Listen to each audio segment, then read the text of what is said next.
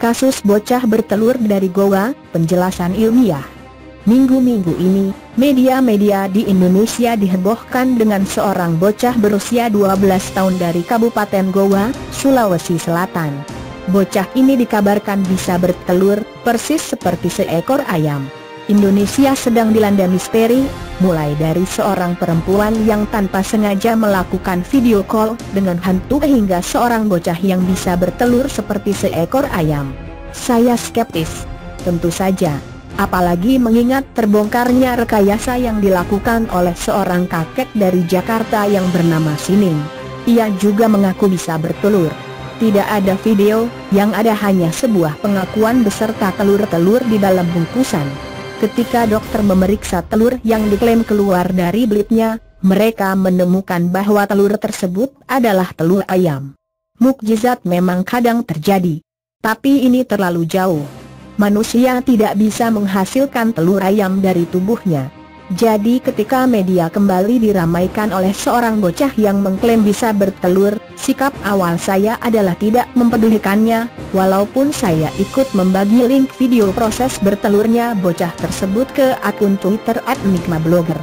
Entah apa yang merasuk pikiran saya waktu itu, tapi beberapa hari kemudian saya memutuskan untuk kembali menonton video tersebut dan berusaha memahaminya. Kali ini saya yakin bahwa bocah tersebut tidak sedang menipu atau melakukan rekayasa. Saya yakin ia benar-benar bisa bertelur.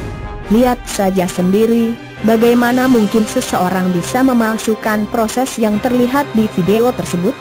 Karena tontonan tersebut sangat mengganggu, saya tidak akan menampilkan video tersebut di blog Enigma ini, tapi saya akan memberikan linknya kepada kalian yang ingin menyaksikannya, di sini.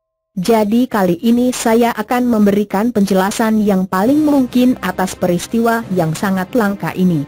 Perlu saya ingatkan kepada kalian bahwa foto yang akan saya tampilkan berpotensi membuat sebagian dari kalian muntah dan bahkan mungkin sebagian dari kalian yang membaca tulisan ini akan berhenti makan telur untuk beberapa waktu lamanya. Berikut adalah cuplikan dari Merdeka.com ketika kasus ini mulai menjadi heboh, bocah umur 12 tahun di Kabupaten Goa, Sulawesi Selatan, diduga bisa mengeluarkan benda mirip telur dari anusnya.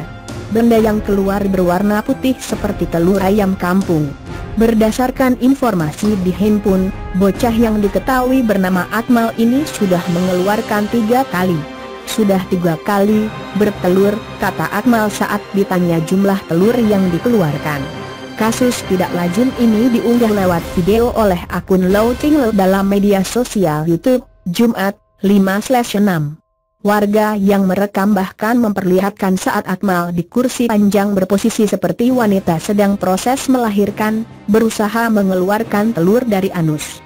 Dengan dibantu seorang yang mengurut perutnya, Akmal mengeluarkan satu telur berwarna putih. Beberapa warga yang menyaksikan dibuat heboh.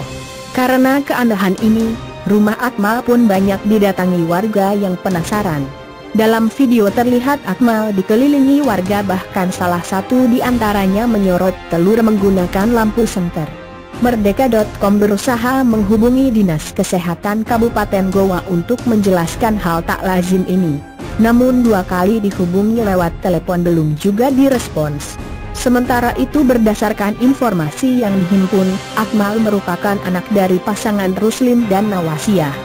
Warga Dusun Kampone Beru, Desa Mangempang, Kecamatan Bungaya, Kabupaten Goa, ini diduga sudah dua hari bertelur.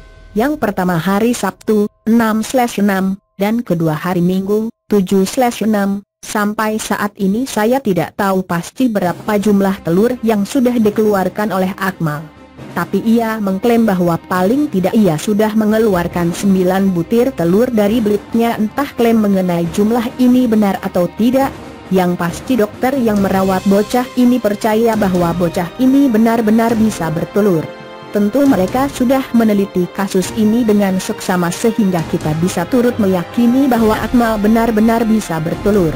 Ini dibuktikan dengan sebuah foto röntgen yang diambil pihak rumah sakit tapi tentu saja tidak ada dokter waras yang percaya bahwa ada manusia yang bisa bertelur sebagai ganti melahirkan. Demikian juga dokter yang merawat Akmal. Dr. Redrio Negala dari Rumah Sakit Umum Daerah Syekh Yusuf menduga bahwa telur yang dikeluarkan Akmal sesungguhnya adalah hasil dari pengapuran atau kalsifikasi. Kalsifikasi sendiri terjadi akibat terakumulasinya garam kalsium di dalam jaringan tubuh. Dengan demikian, yang disebut telur itu sesungguhnya bukan telur dengan cangkang berisi cairan putih dan kuning telur seperti telur ayam mentah. Objek tersebut hanya terlihat seperti telur. Jadi kali ini yang saya lakukan adalah memeriksa dugaan Seng Dokter dan saya menemukan bahwa dugaan ini masuk akal dan merupakan penjelasan yang paling mungkin. Dari mana saya bisa mengambil kesimpulan semacam ini? Jawabannya adalah karena kita bisa menemukan contoh kasus yang serupa walaupun tidak se ekstrim kasus Akmal.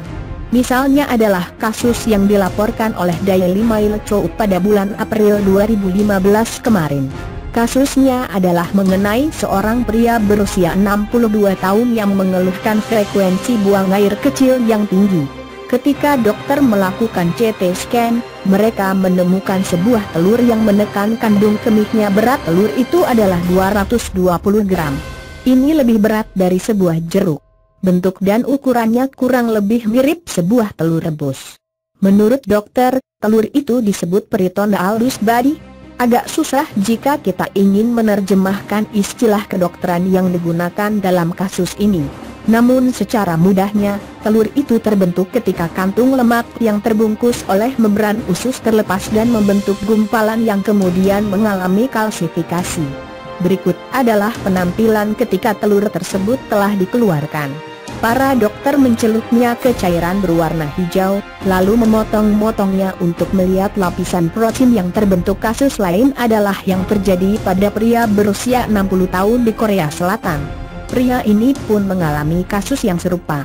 Ketika ia menjalani laparoscopy, para dokter menemukan telur tersebut. Kasus ini dicatat dalam jurnal kedokteran yang berjudul Giant Aldus Body in the Pelvic Cavity oleh Jung Peat Yang, H. N. Ji Ken, Jiang Yon dan Seo Gueon dari Department of Surgery, Seoul Songju Hospital, Seoul, Korea. Lalu ada juga kasus yang menimpa pria berusia 79 tahun yang tercatat di Japanese Journal of Oncology berjudul A Case of Giant Aldus Bodies Mimicking Chow Chiviat Originating from the Rectum. Aldus body yang terbentuk juga disebut berbentuk oval berukuran seperti telur ayam. Sebagai tambahan bacaan, berikut adalah jurnal kedokteran dari Nepal dan Journal of Medical Case Reports tentu saja disertai dengan foto-foto menarik lainnya. Setelah melihat contoh-contoh kasus di atas, maka dugaan Dr. Widrio Negala memang terlihat sangat masuk akal. Jika para dokter yang merawat Akmal juga membelah dan meneliti telur tersebut dan menemukan kesamaan, maka kasus ini akan terpecahkan dengan sempurna. Namun ada satu hal yang masih belum bisa saya temukan pembandingnya. Yang saya maksud adalah, dari kasus-kasus yang ada, tidak pernah ada yang memiliki periton aldus badi lebih dari satu, dan tidak ada yang pernah bisa mengeluarkannya lewat blip. Dugaan saya, periton aldus badi yang terbentuk di dalam tubuh Akmal berada pada posisi yang memungkinkan untuk dikeluarkan lewat blip. Tapi kita tidak perlu heran. Dalam dunia medis, selalu ada yang pertama, dan kemungkinan Akmal adalah yang pertama di dunia. Tapi untuk saat ini, bagi saya kasus ini sudah terjelaskan dengan baik.